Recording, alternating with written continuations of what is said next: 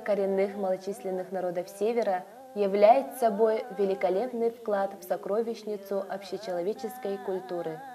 В условиях глобализации весьма актуализируется обращение к культурному наследию коренных малочисленных народов Севера, а также вопросам сохранения и изменения их традиций, хранящих положительный исторический опыт – их мудрость, нетребовательность, умение в любой незнакомой остановке найти выход из положения, устроить жилище, разжечь костер, добыть зверя, рыбу, без посуды быстро и вкусно приготовить пищу. У народа, живущего бесхитростной жизнью, музыкальные инструменты также просты, безыскусны и оригинальны. Эвенов и эвенков можно рассматривать как две ветви одного и того же народа – составляющие часть местного населения Якутии. По языковой классификации входит в тунгусо-манчжурскую группу алтайской языковой семьи. В дореволюционной литературе эвенов называли ламутами, а эвенков – тунгусами. Эвены и эвенки – самобытный народ. Их самобытность выражается прежде всего в неповторимых обычаях, обрядах, отражающих глубинную народную мудрость. Но нет сомнения в том, что они, ведя кочевой образ жизни, испытывая очевидные трудности, живут полнокровной жизнью благодаря древним традициям, которая обладала колоссальной силой воздействия на образ мыслей, поведение, поступки людей, представляя собой целый свод неписанных законов, бережно передававших из поколения в поколение в течение длительного периода истории. Основными видами деятельности эвенов и эвенков является оленеводство, охота и рыболовство. Но олень для всех играет важную роль. Он дает все основные источники существования. Недаром говорится в стихотворении Василия Дмитриевича Лебедева «Нет, я не последний люблю своего оленя. Олень со мною столетия и тысячелетия. Аран мой, аран, жару и буран. Ты мой дом, ты моя пища, ты мой друг, ты моя одежда. Произведения народного творчества отличаются уникальностью разнообразия. Содержание устного наследия отражает основные виды их хозяйственной деятельности. Музыкальный фольклор исполняется по календарно-трудовым циклам, ритуально-культовым, танцевально-игровым, семейно-бытовым, массовым народным праздникам. В традиционном народном искусстве у них значительное место занимает хороводный танец хэджи, имеющий религиозно-обрядовый характер. Такие коллективные танцы проводятся весной и летом при ежегодных традиционных встречах. Они вселяют чувство единения, коллективного разума, уверенность в преодолении невзгод, веру в добро. Национальный музыкальный инструмент является частью духовной и материальной культуры эвенов и эвенков. Музыкальная этнография располагает знанием более чем об одной тысяче фоноинструментов в Сибири. В настоящее время все они дифференцируются на 150 типов. Степень изученности этих инструментов разная. Об одних инструментах информации, можно сказать, достаточно, а других нет. Основным музыкальным инструментом эвенов и эвенков – как и у всех народов, является шаманский бубен, а также широко распространены ударные и шумовые инструменты, в основном из подручных материалов, которые использовались в быту. К фоноинструментам, производящим шумовую атаку промысловой целью, следует отнести ударяющие, ударяемые, соударяемые, скрипковые, стряхиваемые предметы, среди которых можно отметить палки, камни, кости, ракушки, копыта и другие. Прежде всего, довольно часто хлопушкой оказывается предмет с факультативной фонической функцией. Это практически любой крупный предмет, которым ударяют по стволу дерева для сбивания ореховых шишек. Фрикционная лопатка оленя выявлена у индигира колымских эвенов. Называется игики амунен. Для изготовления игики амунен Оленеводы берут старую, хорошо высохшую кость лопатки оленя и делают на ней в центре сквозное отверстие. В это отверстие вставляется плотно подстегнутый стержень стрела.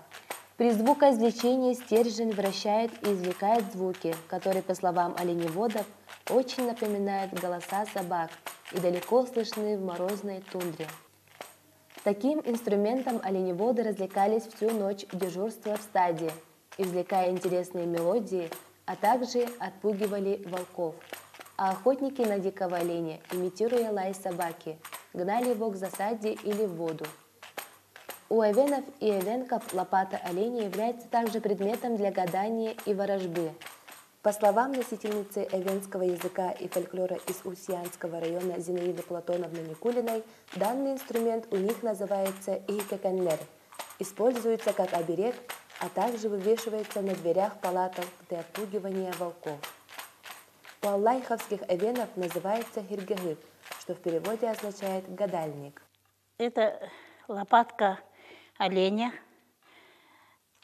У нас, вот в нашем Улусе, но я с малых лет помню, что ее как инструмент не пользовались, и где попало, не бросали. Это была самая святая из святых кость. На ней гадали, на ней, да, можно даже, да, мой отец, например, узнал, где а те, где олень потерялся, где олень находится, да? И он, знаете, как делал? Вот тут сначала берет, говорит, что ему нужно, и называет реки, сопки, то, что находится поблизости, да, и маленькие озера, и просит – покажи, где находится олень, где находится стадо или же один олень. И брал, и уголь горячий, красный, перелаживал и держал так. И тут начиналось все чудо. И после этого он но он держал, пока уголь не потухнет. И вот тут и смотрел, когда остынет. И тут у него, где находится олень, обязательно бывало, да? Или же вот, например, у нас однажды олень потерялся, очень хороший олень, и мы жили около Карамасита река, и Чокчур называется, гора и, и озеро Кучукань называлось. И вот тут оно у него вышло, тут это Чохчур, вот гора, гора такая нашла. И вот и отсюда идет, вот протока маленькая идет. От Карамасита той идет. От Карамасит, потом еще Карамасит, веточка Карамасита начиналась. И вот там и указывался, что там олень находится. И вот идет, идет, идет, и тут точка. И потом он говорит, до завтра все равно постоит. И пошли, и сразу нашли, принесли. Или же он, когда вот вообще зима, да, вообще не видно, где олени, дикие олени пришли. Он тоже вот эту берет, тот дожигает и тоже узнает, где находится олень, где это. И он собирается завтра, на завтра никому ничего не говорит, никто его не собирает. Это для него считалось неудачей, никто не провожал, пока он не отделится, никто не выходил с, с этого серанги. И привозил дикого оленя. Он никогда много не стрелял, сколько нужно, столько и стрелял. Вот поэтому она называла святой, святый, святой из святых. Они даже лопату топором не рубали. Вот они силиком взяли, положили. Если не нужно его использовать, они закапывали его, чтобы никто не трогал, не это. Поэтому у нас считается лопата самым-самым святым. Подвеска-погремушка из рога оленя, нанизанная на кожаные веревки или подвешенная кожаными веревками на деревянном бруске, на сегодняшний день самый распространенный музыкальный инструмент у овенов и овенков. У индигиро-колымских, аллайховских, тампонских и узьянских эвенов данный инструмент называется кангалде, что в переводе означает «издающие шум». У аллайховских также бытует название как чин. Подвеска-погремушка из рога оленя и деревянного бруска кангалде, которые подвешивали на шею оленя, продолжали бытовать у вышеупомянутых эвенов до конца XX века. Вот это тоже, например, э, это из маленьких кокчинов, то есть когти, да, оленьи, копыта, да, копыта оленя, кокчин называется. Но кокчин, он же весь палец. Но даже в песнях «Ноңыртын қоқчыртын ти салнан, иманда тартанду титкаттан». Кокчин, вот когда олень бежит, издает звук, да, ударяется. Кокчин, он весь полностью вот этот. Кокчин вместе с копытой. Он называется. Вот этот кокчин, они служат э, э, музыкальным инструментом. Любая часть кокчина. Да? Вот это, например, копыта. Ага. Охта. Охта. И кокчин, вот эти суставчики, то же самое используется. Между вот этот, как ее, вот кругляшки такие, мы постоянно в детстве, когда бабушка шил, шила нам э, вот эти ровдожные мячики и постоянно наполняла, э, не шила, а вот это из мочевого пузыря оленя. Ага. Делала, наполняла, разделывала, и потом как-то натягивала, э, мочила, и, и она надувала туда.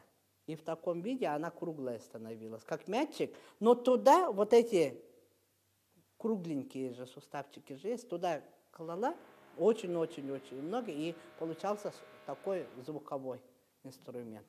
Вот это то же самое, да? И когда бросаешь, и она как бы как погремушка идет круглая из мочевого пузыря а, оленя. Канде это делается тоже инструмент. Канде делается из э, э, тростниковой породы дерева. Тоже подвешивается сюда и своеобразный звук отдает под удары. Когда друг другу ударяешь, когда она как сказать-то, сучок дерева же бывает, и точно так же сучки кустарника очень много. Есть толстые, есть средние, есть тоненькие, и подвешиваешь. Очень-очень много, и тогда, когда ударяет вот этот, и звук издается. И точно так же вот сейчас мы пользуем своих, э, ну вот творчестве, например, да. И вот опять же взято от традиционного э, уклада оленеводов. То есть вот это все используется в быту. Вот эти игрушки мы погремушки, погремушками назывались эти игрушки для нас. Но это потом, после, когда я родилась, ну, когда начала помнить, так, всегда вот такое было. Это держали, то держали. И еще основной игру было, это колокольчики большое значение имели, да? И колокольчики, каждый колокольчик по-разному звучит. Вот этот, например, вообще по-другому. Это какой-то мягкий, да? А вот это совсем грубый. И поэтому, когда я уже начала подрастать, начали выступать, вот эти колокольчики, раньше таких не было, а, это были старинные колокольчики. И эти колокольчики, они где-нибудь вот так присоединяли, и, в общем, звук издавался. А сейчас вот эти все копыта вот пользуются этими копытами. И если вот посмотреть, да, никогда вы, наверное, не видели, белые копытца оленя совсем по-другому звучат, чем вот эти копыта. Вот я однажды я тоже подумала, когда у меня ансамбль я, был у меня Чинделика, я думаю, тоже надо звук какой. Я как раз с Докаловой познакомилась и видела у нее маленькие копытцы. И пока, хотя нам не разрешали, да, запрещали, и я рискнула и сделала такие инструменты своему ансамблю, детям. И потом, и тогда мне мама сказала, а ты, говорит, если ты такие сделала, говорит, ты о чем-нибудь думала или нет, говорит. Я думала, говорю, я думала, конечно, э, хотела, чтобы, хотя мы играем этими копытцами, да, на сцену играем, выступаем, чтобы олени мои сохранились, и это им было не во вред. Я говорю, ну хорошо, говорит, значит, это, наверное, природа услышала, и вот начали делать. Сначала я это копыта варят, вот эти косточки все варят, и после этого остужают, очищают, потом вот соединяют. Вот эти инструменты все, да, каналда ден по-венскому называется, каналда, каналда. Это тоже каналда называется, вот это тоже каналда, это чогу называется. Вот это все называется, мы называем, например, каналда. Мы все называем. Это в моем улусе так называется, хангалда. По отдельности названия нету, наверное. Я ни разу не слышала.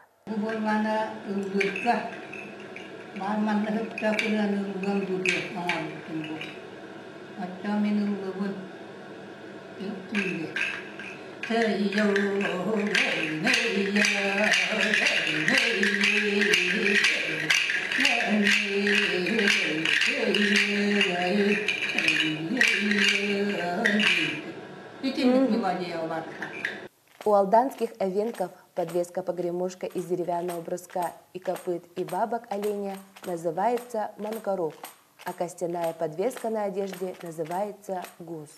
Раньше вот я такие видела, когда оленей подзывать утром, да, мешочек, из-под соли мешочек тут, мешок, да, и внизу вот эти вешали. И вот когда э, звали, олени сильно далеко не уходят, да, особенно там по весне, даже видно вот на какой, э, там напротив, да, гора стоит там даже, и, и, кушают, да. И когда надо им куда-нибудь на охоту, надо же оленей подозвать. И вот у меня у старшего брата голос такой громкий был, начинает. Мак, мак, мак, мак, мак, мак. Они услышат, да? Сразу слышат. И бегом, аж пена изо рта идет. Бегом и перебегает. Ну, один побежал, все бегут за олени-то вот так вожак. Ну, не то, что олени, вот эти животные, да? У них у всех, у лошадей, у всех вообще животных. Побежал э, и за ним. А как много, ага, поэтому манкрут называется. А раньше еще вот эти маленькие, да, вот, например, вот такие, вешали на, этом, на, на юльке были, э, есть же деревянные, да, кисты, которые, э, когда едут, едут на ленях, да, с одной стороны вот ребенок, с другой стороны там на это, другая сумма. Чипича – это деревянный инструмент, с авенкийского переводится как «птичка», Две птички устанавливаются на пластинках. У инструмента есть рукоятка. При движении направо или налево птички издают звуки, ударяясь клювами о деревянную стойку. На данном инструменте, импровизируя, можно передать разговор птиц-подружек, согласную беседу и ссору. Данчики – это деревянная лопатка, напоминающая якутский музыкальный встряхиваемый шумовой инструмент джага – деревянными шариками на прочных нитках. При встряхивании шарики ударяются о лопатку. Роль инструмента в ансамбле эвенкийских народных инструментов солирующая, может меняться в зависимости от задачи, поставленной перед исполнителями. Пасахалда – это шумовой встряхиваемый инструмент. По словам Зинаиды Платоновны Никулиной, данный инструмент можно изготовить из дерева и из рога чубуки, Первоначальное предназначение пасахалды – пригон оленей. В таких местах было табу громко разговаривать, и тем более громко кликать оленей, и с помощью пасахалды пригоняли оленей. Мембранофоны относится к численности небольшим группам фоноинструментов. Источником звука мембранофонах является перепонка мембрана, которая может быть суть инструмента и даже его единственной составляющей частью. Например, погремушка из пленочных органов животных или мембраны для изменения тембра голоса. Разумеется, наиболее значение среди мембранофонов в Сибири придается шаманскому бубну. По мнению Юрия Ильича Шейкина, процесс становления традиции интонирования на мембранофонах начинается с барабанов и шкур животных, хотя изначально по своей основной функции они барабанами не являлись. Они представляли собой растянутые шкуры животных, которые не имели специальной выделки. Важно отметить, что жертвенники и шкур являлись предметами культуры, содержащими потенциальные возможности ударяемых барабанов. Удар по шкуре жертвенного животного первоначально означал обращение к его духу. Барабан из кожи вытеснил в качестве магического репрезентанта все идиофоны и аэрофоны, которые могли претендовать на эту роль. Именно круглый бубен из кожи стал символом шаманской практики в Сибири. Как вышесказано, главным инструментом эвенов и эвенков является бубен. По сообщению носителей эвенского языка и культуры из Момского улуса Евдокии Николаевны Боковой и Аллаховского улуса Максима Ильича Дудкина, у эвенов есть три разновидности бубна. Первое – шаманский – ункту. Второе – песенный унктукен – от ункту и кен – песня, по структуре аналогичный камчатскому. Третье – для игр кебеке, аналогичный чукотскому, круглый и с внешней рукояткой. Бубен как атрибут камлания служил шаману инструментом общения с духом и транспортным средством, переносящим в другие миры. До сих пор без него не обходится ни один обряд – Миф о рождении шамана из яйца наводит на мысль о том, что бубен является вместилищем души шамана. Шаманский бубен эвенов имел овальную форму, наклеенную мембрану из тонкой шкуры олененка, широкую и тонкую обечайку, шнуровую крестовидную рукоятку, четыре скобы с нанизанными трубчатыми подвесками с рисунками солнца и моря на внешней стороне, Образец шаманского бубна у горно-материковых эвенов внешне похож на оленью лопатку или листик, а мембрана не крепится к обечайке клеем, а растягивается шнурами, которые с тыльной стороны образуют крест. По внешнему виду такой бубен имеет сходство с растяжкой для сушки жертвенной шкуры и этим напоминает якутский табык. Эвенкийский бубен, как и эвенский, имеет овальную яйцеобразную форму – Обтянут он прочной кожей лося. Кожа представляет особую перепонку мембрану, которая может звучать лишь в натянутом состоянии. Перед началом камлания бубен нагревает над костром, и чем больше он нагрет, чем чище и громче он может издавать звуки. Эвенский песенный бубен по функции аналогичен камчатскому и распространен в каждой семье. Он используется во время праздников как инструмент, сопровождающий праздничное пение и массовые танцы. По мнению многих носителей эвенского языка и фольклора, пение и танец бубном вне шаманского обряда не приветствуется. По рассказам бабушек моих, э, бубны э, моих э, прапрабабушек, прапратетушек, они как бы э, держались постоянно закрыто, да, никому не показывали, этим только пользуется сам, который э, этот, как ее, использует в своем обряде, ритуале, камлании, да, и э, она более другая, она более яйцевидная, не круглая, яйцевидная, и Потому что э, бабушка, когда еще живая была, она мне подарила бубен. Маленький такой бубен. Или она специально изготовила такой бубен. Она же видит, что у меня есть вот петь, э, показать свою культуру. Э, Она вообще, она и исполнительница горлового пения, она Дудкина Александра Егоровна. Вот, я постоянно ей говорю, если бы не она, то ее обучение, если бы она э, не рассказывала бы э, устное народное творчество, да, не передавала бы, если бы не ее одежда, ш- сшитая ее руками, то меня как такового человека, который э, вот сейчас видите, меня бы не было бы, да. Ну, благодаря ее действительно я вот э, сохранил и всегда ей о ней помню. Потом бабушка, когда была жива, она постоянно говорила, зря не ударяй, зря не пей, по- особенно вечерами, говорит, ага, после пяти. Почему именно после пяти? Наверное, это когда уже солнце садится. Вот. Нельзя шумовыми инструментами э, пользоваться постоянно, а именно в определенной, в определенное время, в, опре- в определенные дни, в определенные дни, когда проводятся вот ритуалы. А все-таки бубен, он у нас играет важную, главную роль, потому что он сакральный инструмент, любой даже, да, используешь вот в песне, все равно. Он издает какие-то звуки, какие-то вот связанные э, с миром, да, потусторонним миром, или нижним миром можешь, или с верхним миром. Для пения отдельно сейчас используется, да, для танца он более другой, но один единственный, это который испокон, но испокон веков остался, этот бубен, он сакральный, он служит для обряда, для кормления, для лечения, для э, общения э, с предками. Ай,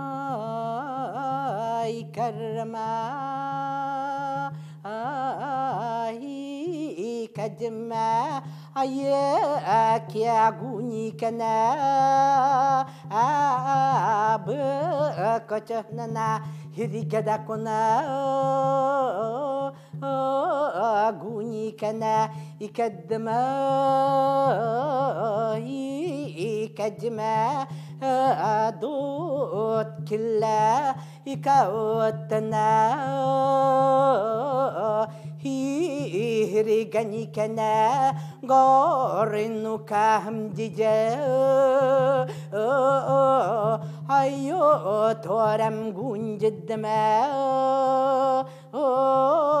هري قد ما كدا كنا غوني كنا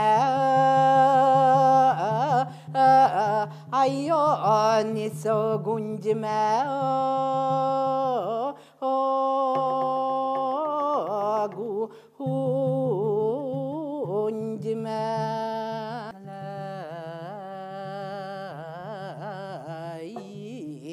ಕೊನ್ನ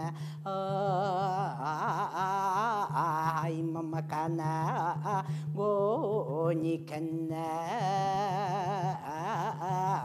ಈ ಕದ್ದಮ ಈ ಕೈಯ ಅಯ್ಯೈಕ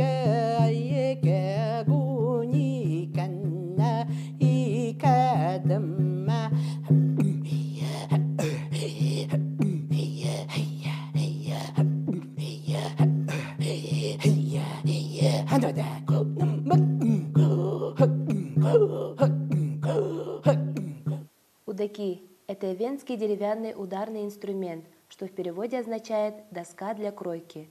По словам Зинаиды Платоновны Никулиной, в быту использовался как краильная доска или доска для резки мяса.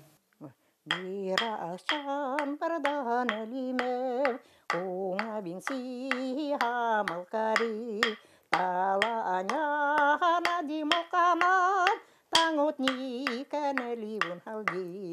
Игмет мечер пели техлки кургани Игмет мечер пели техлки кургани У бабушки, прабабушки, говорит, была тоже своя дощечка, удаки, которым она возле себя никогда, возле себя постоянно держала.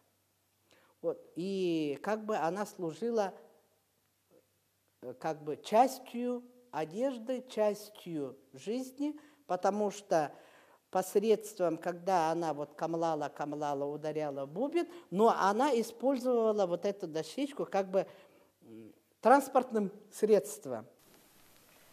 Эвенкийский музыкальный инструмент конкавур.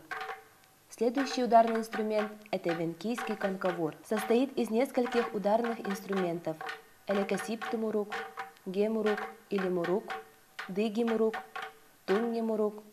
туннемурук, нюнемурук, а также висящие на треугольной подвеске черептун, музыкальные палочки макат или ложки ункан. На палочках для резонатора есть по 2, 3 или 4 прорези, поперек просверлены сквозные отверстия. На черептун подвешивают также хороки тетерев, красивый инструмент с множеством просветленных отверстий, имеющий колоритное звучание. Конкавур украшает эвенкийским орнаментом. Инструмент легко собирается и разбирается, изящен на вид, легок, удобен для концертных выступлений, имеет колоритное национальное звучание. Аэрофоны. Архаичные фоноинструменты представлены несколькими формами свободных аэрофонов.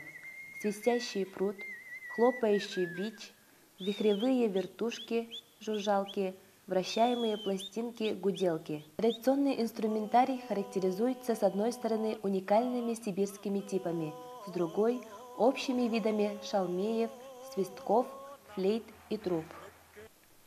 Жужжалки-гуделки. Среди архаичных духовых инструментов, изготовленных специально для фонации, но сохраняющие архаичную технологию изготовления и сонорику – Следует отметить вихревые вертушки-жужжалки и вращаемые пластинки-гуделки. Они распространены почти у всех этносов Сибири, но преобладающее значение имеют жужжалки. Гуделки по функции и по названию часто сливаются с жужжалками. У тунгуса-манчжурских народов жужжалка известна практически во всех этнических группах, а гуделка, наоборот, не отмечена ни в одной из групп. Забвение гуделки в данном случае объяснимо ее магическим значением и системой соответствующих запретов к бытовому применению. В целом, жужжалка обладает функцией детской игрушки. У овенков она называется хирувкевун, а у венов – курукен.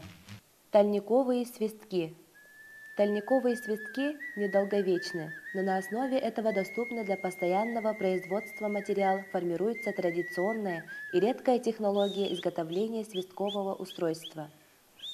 Изготовление аэрофонов из трав кажется самым явным шагом назад в процесс создания мира традиционных предметов.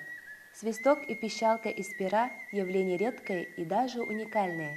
Свисток изготовлен из высушенного горла птицы бельгау – у енисейских эвенков считалось, что горлышко птицы будет точнее воспроизводить звуки, подражающие голосам птиц. Охотники с помощью этого инструмента извлекали свистящие звуки птиц. У индигера колымских эвенов такие свистки делали из горловой трубки лебедя или гуся. Биологический материал для инструментов, воспроизводящих звуки, должен быть сырым – что позволяет считать эти инструменты одноразовыми. Из э, перьев, из травы, из камыша делаются пищалки. Да? А из тростника она как бы свистульки. Разные-разные. Потому что мы в детстве, в детстве, в советский период, игрушек-то мало было. И вот родители нам все-все готовили, лишь бы как-то что-то звучало, лишь бы как-то, чтобы ребенок тешился и этот все бегал. Напеваемые трубы скрывают голос человека. Это инструмент для создания сонорной маски. Чаще всего эти инструменты связаны с ритуальными представлениями о голосах окружающего мира. Они позволяют передать в мир духов то, что простым голосом не передается. Возможно, поэтому напеваемые трубы называются медвежьими, а их использование окружено запретами. Кенгукте Ингасинган – это архаический инструмент. Заготавливался весной из сухой прошлогодней травы. Охотники пользовались этим инструментом как манком в виде сухой дудки с прямо срезанным одним концом и косо срезанным другим. Звук манка имитировал урчание медведя. Она использовалась в качестве сигнального или звукоподражательного инструмента на медвежьем празднике.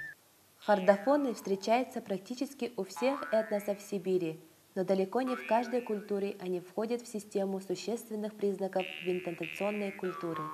Хордофоны появились в эпоху архаики и связаны с интонационным использованием туго натянутой упругой нитки, волоса или жилы. Чаще всего этой целью используются жилы, один конец которой зажимается зубами, а другой оттягивается рукой. Натянутая жила начинает звенеть от прикосновений к ней пальцем свободной руки. Рот исполнителя в этот момент служит резонатором. Использование ротовых инструментов привело к становлению такой нормы органофонического мышления, как традиционная игра на варгане. Музыкальный лук – это эвенский и эвенкийский инструмент. Этим инструментом пользовались шаманы, зажав зубами конец древки и ударяя по струне тетивы стрелой. Звук как на бубне. Исполнитель менял звуки на луке только динамически и ритмически, сильнее или слабее ударяя по тетиве или выстукивая слоговый ритм песен. А у аллайховских эвенов данный инструмент называется инджи, что в переводе с эвенского означает «жила», «сухожилие». Лук, э, вот как бы лук нам давали. Ниток не было в советское время. Бабушка-то постоянно нитку берегла. Говорит, вот э, советские нитки, капроновые нитки вообще мои не трогайте, потому что я использую в своих целях. Я вам лучше вместо этого э, натянуть, я вам дам вот эти жилы, сухожилия, которые сученые, которые сшиваются. Она тоже вот э, использовала в себе. Но она говорит, я лучше вот так натяну. А мы вот играем, играем, и еще вот вот когда два лука берешь, и звук такой, как однострунная скрипка или арфа или что-то. Вот тебе и предмет быта, который используют охотники или что-то, она становится уже предметом музыки, извлечь звук. Вот откуда мы, с какого предмета мы извлекаем, тем и пользуемся. Варган – это реликтовый результат органофонического поиска и отбора, стихийно возникавших и исчезавших фоноинструментальных норм, в том числе и предваргановых щепки, ветки, рамочные щепки варгана. Существенную роль в этом отборе ротовых инструментов сыграли параллельные варганам и предварганам хордофоны – играющая струна и музыкальный лук. Но по опрошенными нами носителей эвенского и венкийского языка, фольклора Аллайховского, Томпонского, Устьянского и Алданского районов данный инструмент отсутствует. Севдевчу. Название Севдевчу в переводе «веселый». Инструмент получил такое название за своеобразное звучание и тембр. Звучание действительно то веселое, с характерным колоритом – то трогающее до глубины души задумчивостью.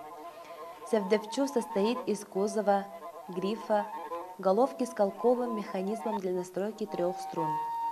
На фанерный кузов округлой формы натянута кожа кабарги. Нижняя стенка кузова имеет голосник, в основании три стойки для струн. Есть подставка, на которой опираются струны. К кузову наглухо прикреплен гриф с головкой – сборка на грифе нанесена ладовая разметка по хроматизму. Таким образом, в настоящее время эвенский и эвенкийский музыкальный инструментарий является малоизученной. Обычно при названии музыкальных инструментов приходит на ум только наличие общераспространенного инструмента бубна, имевшего обрядовое значение. А у других музыкальных инструментах речь в этнографической литературе заводится очень редко – Практически все музыкальные инструменты – это те вещи, которые использовались в быту, но в последующем превратившиеся в музыкальные инструменты. Поэтому, ссылаясь на фрагментарные и краткие сведения о музыкальных инструментах, мы узнали о наличии почти всех видов духовых, шипковых, смычковых, ударных инструментов у кочевников севера.